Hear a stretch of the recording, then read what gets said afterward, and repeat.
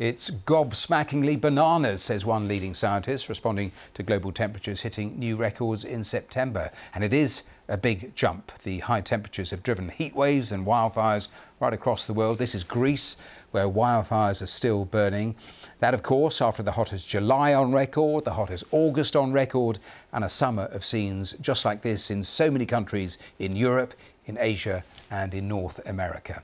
Well, last month, the Earth's average temperature was 16.38 degrees Celsius, according to the EU's climate service. That's half a degree more than the previous record registered in September 2020. And it's the largest jump in temperature ever seen.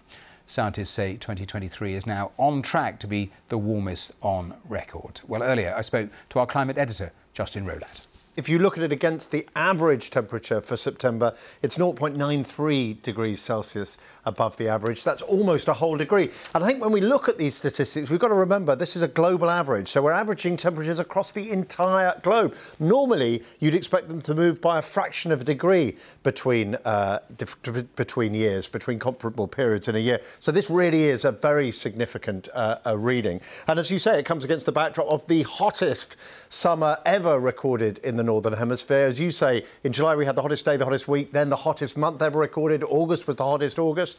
Um, and we think, as scientists think, July was probably the hottest month for 120,000 years. So since before the last ice age.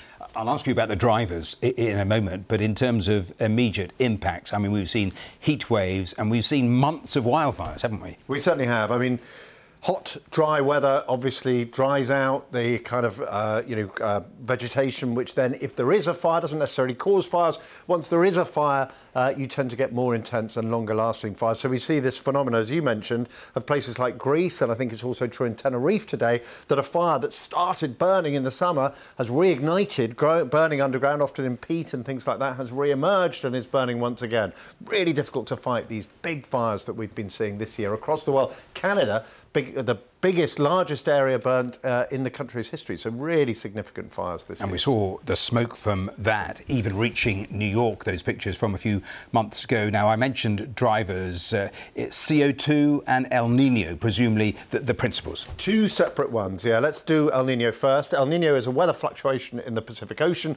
The winds change slightly and instead of drawing cold water across the ocean, it, it well hot water is encouraged to well up by the by the wind, uh, uh, and that then releases.